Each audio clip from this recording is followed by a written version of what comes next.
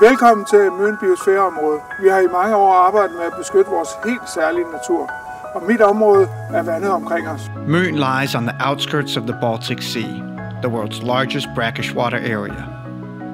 Møn Biosphere Reserve connects people and nature, ensuring a more sustainable future. Life and work in harmony with nature is our motto. We cooperate with universities and researchers, share knowledge, and help start new projects. For centuries, the waters around the island of Møn have been home to a large population of brackish water pikes, and they have been a natural part of the fishing activities here. But the pikes around Møn live in a sensitive area, and to secure the population, it is necessary to recreate former spawning and nursery habitats. The pike have a very high recreative and economic value for the local economy and tourism. Vi er stolte over at kunne dele vores unikke Møn Biosfæreområde med resten af verden.